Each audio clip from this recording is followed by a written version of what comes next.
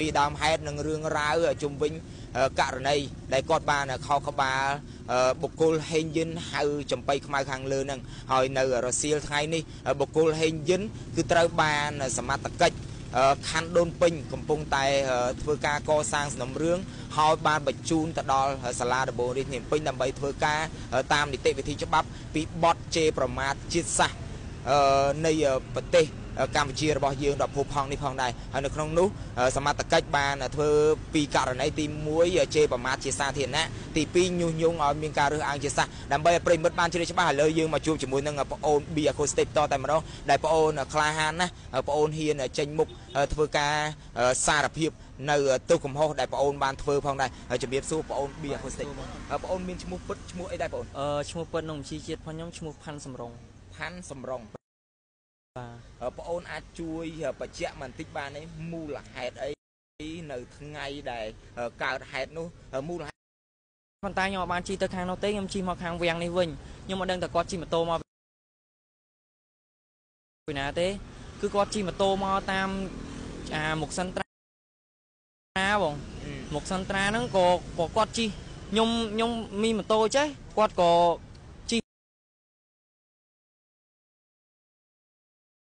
មករៀងប្រឆិតខ្ញុំខ្ញុំសួរបងឯងជីញ៉ាប់ទៅណាខ្ញុំអត់ដឹងថាគាត់តាក់ទាញចំណាប់អារម្មណ៍អីផ្សេងខ្ញុំអត់ដឹងគាត់ថាទៅក្បាលឯងគាត់និយាយថាទៅក្បាលឯងខ្ញុំក៏ត្រង់បានដាក់កញ្ញលើគាត់ក៏កវិសដៃខ្ញុំគាត់ដូចខ្ញៅខ្ញុំហ្នឹងតែខ្ញុំអត់ត្រូវខ្ញុំដកដៃចេញតណាគាត់ខ្ញៅខ្ញុំក៏ខោគាត់មកកញ្ញខ្ញុំខោគាត់គាត់មកកញ្ញគាត់មើលមុខមើលក្រោយក៏គាត់ជេរម៉ែខ្ញុំទៀតជេរម៉ែចុយម្រាយ ទៅក៏ខ្ញុំខឹងក៏ខ្ញុំខោកថែមទៀតទៅរឿងហ្នឹងវាមានតែប៉ុណ្្នឹងហើយខោកប្រហែលកញ្ញោដែរអូនអឺបើខ្ញុំចាំបាន6កញ្ញោបងសួរបងអូនបន្តិចមើលរឿងងាវដើមចងដំបូងហ្នឹងគឺដោយសារតែរឿងប៉ុណ្្នឹងតែមានរឿងអីបន្ថែមពីហ្នឹងអត់មានបងអឺទី1គឺគាត់ធ្វើខុសទៅលើច្បាប់នៃស្រុកខ្មែរក៏គាត់ជេរប្រមាថអឺដូចជាលខោនខោលលខោនខោលខ្ញុំគុំគាត់តាម view ណាមកហើយអាលខោនខោលហ្នឹងមួយ គឺមិនមែនតែមានតែខ្ញុំទេដែលស្អប់គាត់ប៉ុន្តែខ្ញុំស្អប់គាត់ក៏ខ្ញុំបានធ្វើឲ្យគាត់ដែរដោយសារតែគាត់ជេរម៉ាក់របស់ខ្ញុំប៉ារបស់ខ្ញុំអាណាព្យាបាលខ្ញុំខ្ញុំអត់ឲ្យអាណាជេរប្រេះផ្ដាស់ទេខ្ញុំក៏ខ្ញុំក៏ខោគាត់ដំបូងខ្ញុំអត់ចង់ខោគាត់ទេតែខ្ញុំច្រឡទៅទេគាត់ខ្ញៅខ្ញុំមុនក៏ខ្ញុំខោគាត់ទៅ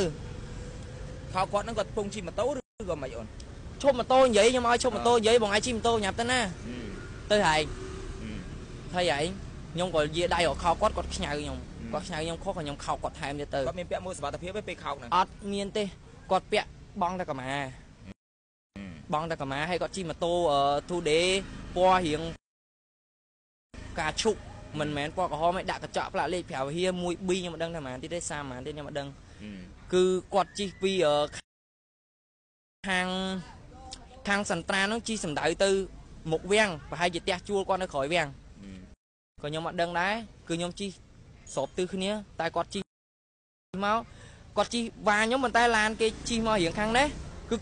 គាត់ចូលមកគឺគូតម៉ូតូគាត់គឺប៉ះក្បាលម៉ូតូខ្ញុំហីម៉ូតូខ្ញុំនៅស្នាមដល់ឥឡូវចុះមូលហេតុអីបានបងអូនថ្ងៃនេះចេញមុខក៏ធ្វើការបកស្រាយនឹងសារភាពថាបងអូនជាអ្នក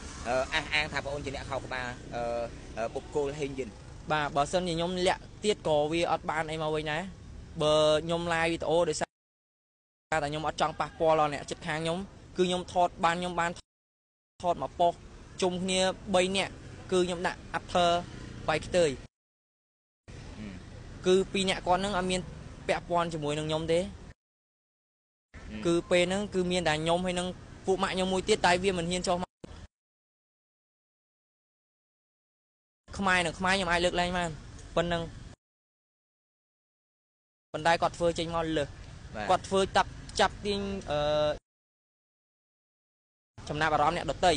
អញ្ចឹងបើសិនជាខ្ញុំនៅតែធ្វើឲ្យគាត់នៅអញ្ចឹងទៀតគឺខ្ញុំទ្រាំអត់បាន គឺពីបេដងហើយរឿងឯងឯងមានដឹងថាការប្រើប្រាស់អំពើហិង្សាបោះបងឯងទៅលើបុគ្គលហេងយិនហ្នឹងគឺជាទង្វើខុសច្បាប់ទេបងបាទខ្ញុំដឹងខ្ញុំដឹងបងខ្ញុំដឹងតែខ្ញុំអត់បានប្រើប្រាស់អំពើហិង្សាទៅលើគាត់ធ្ងន់ធ្ងរណាស់ណាទេគឺគ្រាន់ថា លក្ខណៈបើនិយាយសាមញ្ញទៅបដៅគាត់កុំឲ្យគាត់ឆ្លើយចឹងទៀតលើកក្រោយមានដៃពីរទេលើកសាពះសុំទោសគេទៅវាអត់ខុសត្រង់ណាទេបងខ្ញុំក៏ធ្លាប់សុំទោសគេដែរខ្ញុំប៉ះគេគេប៉ះខ្ញុំសោចដាក់គ្នាទៅវិញទៅមកទេប៉ុន្តែគាត់នេះគឺគាត់អត់ដឹងថាគាត់អស់ចាគាត់មកពីណាទេគឺគាត់ជាបងប្អូនអឺមាននៅក្នុងនោះមានអឺតារា Facebook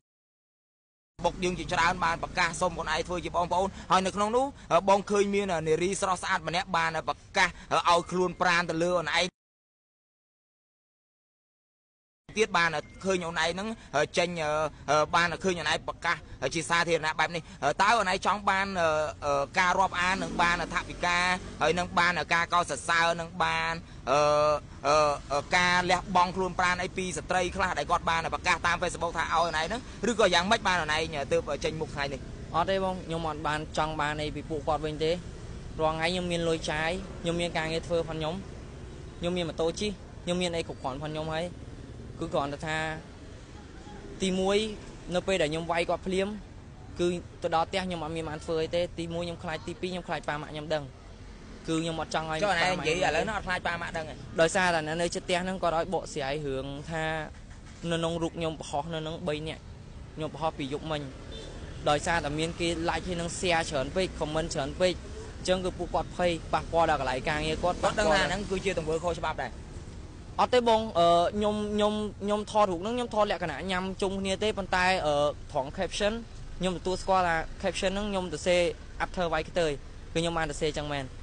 ប៉ុន្តែតែអញ្ចឹងមានន័យថាប្អូនឯងហ្នឹងអឺគាត់ដឹងថាខ្លួនឯងវាយគេហ្នឹងខុសច្បាប់ដែរបានភ្លាមភ្លាមៗអត់ហ៊ានចេញសារភាពដឹងបងខ្ញុំដឹងប៉ុន្តែបើសិនជាខ្ញុំនៅលាក់មុខទៅតទៅទៀតក៏វាអត់បានទេវិញណាចុះពេលនេះអូនឯងសារភាពអត់ខ្លាចសមត្ថកិច្ចមកធ្វើការខាត់ខ្លួនអូនឯងធ្វើមិន បើយើងខុសបងខុសហើយបាទអូនឯងព្រមទទួលកំហុសបាទបងអញ្ចឹងនៅពេលដែលអូនឯងប្រព្រឹត្តខុសលើហេងយិនអូនឯងទទួលកំហុសប៉ុន្តែហេងយិនជេរប្រមាថទៀតសោះអឺជារឿងរឿងរ៉ាវរបស់ហេងយិនបាទអាហ្នឹងជារឿងជារឿងញ៉ៅបានគាត់គាត់អ្នកជេរប្រមាថជាតិសាសគាត់អ្នកទទួលទៅទៅបើខ្ញុំវាយគាត់គាត់មកជេរត្រឹមខ្ញុំបានហើយគាត់ចាំបាច់ទៅជេរមកពូជដល់ខ្មែរនៅក្នុងប្រទេសយើងទាំងអស់យើងសិតជនជាតិខ្មែរ ឬមួយក៏គាត់មិនមែនជាខ្មែរទេបានគាត់ជេរប្រមាថខ្មែរគ្នាឯងហ្នឹងអូនឯងអាយុប៉ុន្មានណាអូនឆ្នាំនេះខ្ញុំឆ្នាំហ្នឹងអឺខ្ញុំកើត9 98រៀនអឺថ្នាក់ទីប៉ុន្មានដែរបងខ្ញុំជប់រៀនទេបងខ្ញុំជប់ធ្វើរៀនការនៅក្រុមកាយដែរធ្វើការនៅក្រុមហ៊ុនមួយតែខ្ញុំអត់សុំអត់ចេញឈ្មោះបងហ្នឹងហើយអូនបាទអញ្ចឹងអូនឯងផ្ទះនៅណាដែរអូនផ្ទះខ្ញុំនៅស្ទឹងមានជ័យនៅស្ទឹងអឺឲ្យថាពិការមកខ្ញុំឬក៏គាត់សរសើរឲ្យខ្ញុំថា ខ្ញុំនឹង hero អីនៅស្រុកខ្មែរគេស្ដារស្រុកខ្មែរគេគឺទង្វើប៉ុណ្ណឹងខ្ញុំអត់គិតថាខ្ញុំស្ដារស្រុកខ្មែរគឺខ្ញុំគិតថាខ្ញុំចង់បដៅមនុស្សម្នាក់ដែលឆ្លើយនៅក្នុងសង្គមខ្មែរខ្ញុំចង់ឲ្យម្នាក់ហ្នឹងវាវាវិលខួរមកវិញថាវានៅទឹកដីខ្មែរវាត្រូវតែគោរពខ្មែរវាមិនមែនមិនមែនអត់នៅទឹកដីខ្មែរទោះបីអូនឯងដឹងថាទង្វើហ្នឹងជាទង្វើខុសច្បាប់ក៏ដោយបាទបងខ្ញុំខ្ញុំដឹងតែខ្ញុំខុសប៉ុន្តែខ្ញុំធ្វើអញ្ចឹង ក៏ខ្ញុំដឹងតែខ្ញុំខុសគាត់ខ្ញុំវាយគាត់ប៉ុណ្ណឹងក៏ក៏ពេលឥអត់ឡូវមាននេះទេអូនឯងដឹងថាខ្លួនឯងខុសថ្ងៃក្រោយអូនឯងនឹងប្រព្រឹត្តអំពើហិង្សាលើអ្នកដទៃទៀតអត់អត់មានទេបងតាបុគ្គលនឹងម្នាក់គឺគាត់ធ្វើជ្រុលហ្មងទូទាំងទូទាំងប្រទេសហ្មងនៅស្រុកខ្មែរហ្នឹងពីណាក៏គេស្អប់គាត់ដែរចាំពីក៏គាត់មកអូនស្ធ្លាប់វាយណាគេអអត់មានដែរធ្លាប់វាយណាគេទេបងបើវាយអត់ធ្លាប់មានតាមវាយគេទេ Facebook ហ្នឹងបាទបងញ្ចឹងមានតែវាយតែលើបុគ្គលហេងយិនហ្នឹងទេដែលប្រទេស ជាតិអញ្ចឹងខ្ញុំសប្បាយចិត្តខុសសម្រាប់ប្រទេសជាតិលះបង់ដើម្បីប្រទេសជាតិនឹងសប្បាយចិត្តបាទខ្ញុំសប្បាយចិត្តនឹងវាយគាត់ខ្ញុំសប្បាយចិត្តមែនតើដោយសារតែគាត់មើងងាយពូជសាសន៍ខ្ញុំខ្ញុំខ្មែរខ្ញុំមិនមែនជនជាតិដទៃទេគឺខ្ញុំខ្មែរខ្ញុំស្រឡាញ់ជាតិខ្មែរខ្ញុំតែបើគាត់មិនមែនខ្មែរគាត់អត់ត្រូវដៀខ្មែរអញ្ចឹងដែរហើយបើគាត់ខ្មែរគាត់ដៀខ្មែរជន់ពីលើអញ្ចឹងទៀតបានន័យថាម៉េចបងអញ្ចឹងអូនឯងចេញមុខថ្ងៃនេះអូនឯងមានអីចង់បកស្រាយខ្លះដើម្បីឲ្យប្រិយមិត្តបានយល់ពីអ្វីដែលអូនឯងបានប្រព្រឹត្តទៅលើហេងយិនបាទអ្វីដែលខ្ញុំបានប្រព្រឹត្តទៅលើហេងយិនហ្នឹងគឺគាត់ទី1វា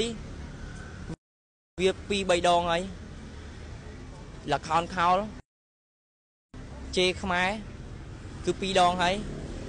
ហើយបូករួមនឹងការជិះម៉ូតូគឺគាត់ជិះម៉ូតូស្របទិសមកខ្ញុំ ប៉ុន្តែគាត់គេចឡានគេមកប៉ះក្បាលម៉ូតូខ្ញុំ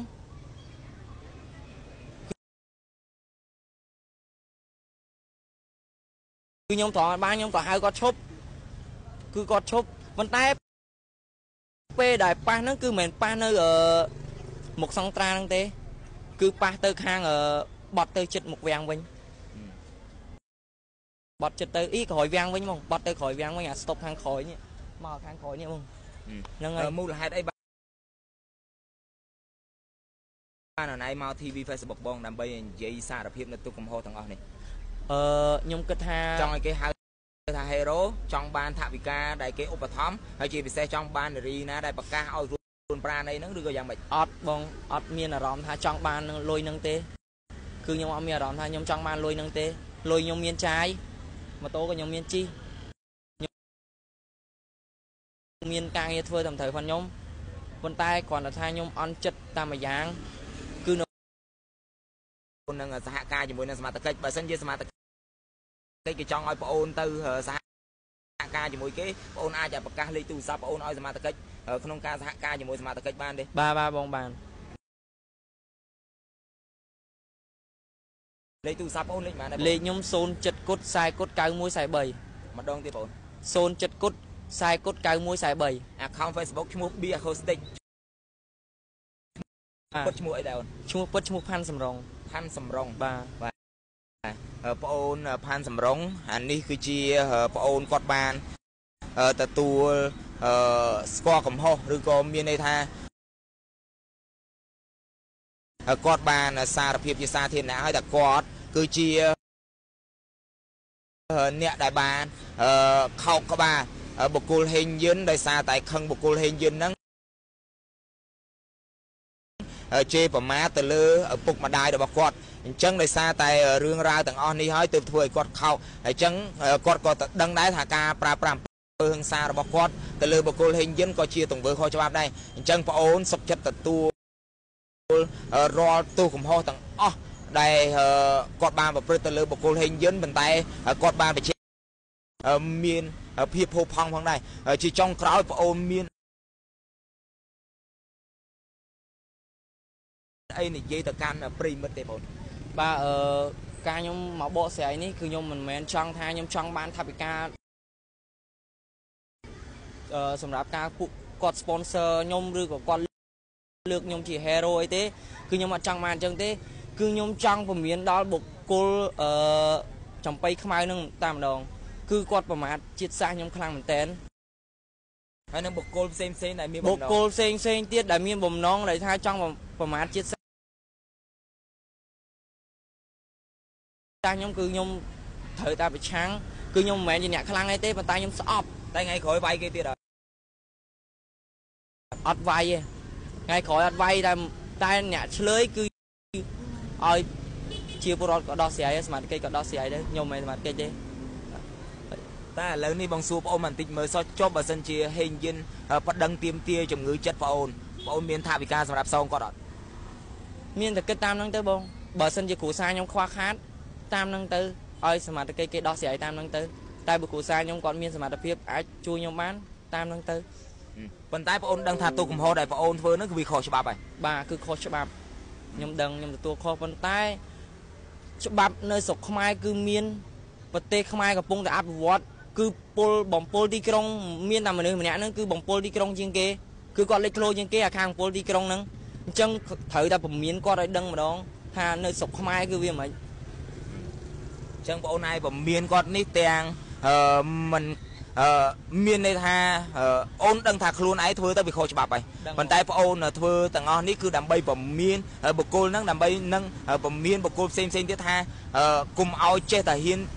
ធ្វើអ្វីដែលវាខុសច្បាប់ឬក៏ធ្វើអ្វីដែលវាប៉ះពាល់ដល់អារម្មណ៍អ្នកទស្សនានៅតាមបណ្ដាញសង្គម Facebook បាទបងអញ្ចឹងបងអរគុណបងអូនមែនតើបងសង្ឃឹមថាចប់វីដេអូនៃការផ្សាយនេះបងអូននឹងទៅសហការជាមួយនឹងសមត្ថ កិច្ចហើយបងអូនទៅដល់សមត្ថកិច្ចបងអូនសហការជាមួយនឹងប៉ុស្តិ៍សមត្ថកិច្ចណាបងអូនជួយហើយតាក់ទងមកបងដើម្បីឲ្យបងទៅផ្សាយឲ្យប្រិមិត្តបានឃើញថាបងអូនធ្វើខុសបងអូនចេះទទួលស្គាល់កំហុសដែលបងអូនបានប្រព្រឹត្តហើយជាពិសេសអ្វីដែលបងអូនធ្វើទាំងអស់នេះមិនមែនចង់ខ្លាចទៅជាហេរ៉ូមិនមែនចង់ឲ្យគេសង់រូបសំណាក់តាមអ្វីដែលគេផុសផុលតាមតាមបណ្ដាញសង្គមលើកទី1ទេមានន័យថាបងអូនបាន live តាម account Facebook បងអូនលើកទី1រួចទៅហើយបាទខ្ញុំ live ម្ដងហើយ live នៅពលាម៉ោងម៉ោងប៉ុន្មានបងអូនប្រហែលជាម៉ោង3ជាងហ្មង3ជាងថ្ងៃហ្នឹងឬក៏ថ្ងៃហ្នឹងបងថ្ងៃហ្នឹងតែថ្ងៃហ្នឹងទេខ្ញុំ live ហើយគឺខ្ញុំឡើងមកមកយកលុយគេនៅបឹងតបែកខ្ញុំឡើងមកយកលុយពីម៉ាក់ខ្ញុំឲ្យម៉ាក់ខ្ញុំ ឲ្យមកយកលុយពីគេនៅបឹងបែកហ្នឹងហើយអូយអូនក៏ឆ្លៀតមក TV Facebook បងបាទខ្ញុំក៏ឆ្លៀត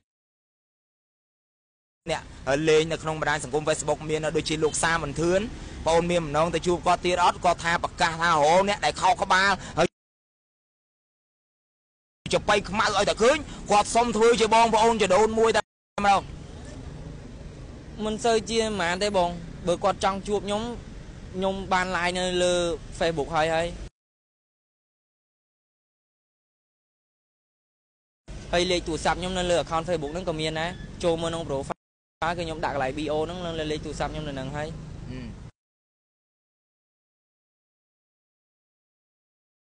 បើគាត់ចង់ជួបខ្ញុំគាត់អាចខលខ្ញុំបានប៉ុន្តែខ្ញុំមិនដឹងទៅរកគាត់នៅណាទេ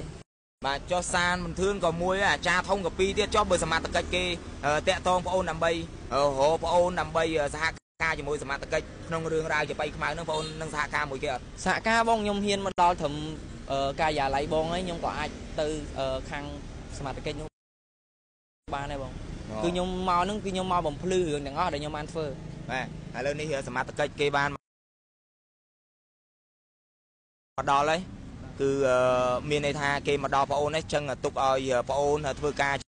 ជាមួយនឹងសមត្ថកិច្ចចុះមានន័យថាការ live របស់ TV ឲ្យបងអូនជាអ្នកធ្វើការជាមួយនឹងសមត្ថកិច្ចចុះណាបងអូនរឿងរ៉ាវទាំងអស់នេះបងមិនមានទូនាទីអីទេបងសមត្ថកិច្ចអាចធ្វើការបានខ្ញុំឡាយចប់ហើយបងបងអាចធ្វើការហើយចឹងបងអូនសហការជាមួយនឹងប៉ូលីសចុះ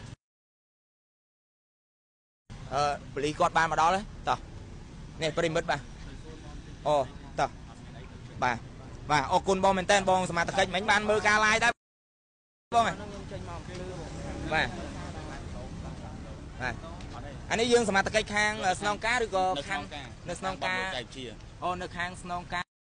នគរបាលរាជធានីពេញបាទបាទបាទឥឡូវយកទៅខណ្ឌដូនពេញសិនយកទៅខណ្ឌដូនពេញសិនបងបាទបាទបាទតោះបងអូន